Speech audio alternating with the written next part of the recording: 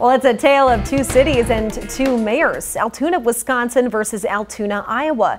The mayors of the two cities are betting on their state's college football team and have a friendly wager to boot. If Wisconsin beats Iowa in a couple of weeks, the mayor of Altoona, Iowa will send up its best steaks and local beer.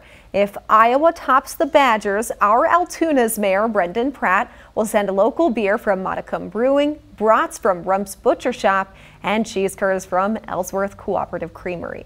The Wisconsin versus Iowa football game is scheduled for Saturday, October 30th in Madison. You can watch the fun rivalry unfold by following the Altoona, Wisconsin Facebook page. I think we should find another News 18 and do the same thing. Maybe we'll see. Uh, personally, this rivalry, my favorite is actually the managers play a game, Wisconsin and Iowa.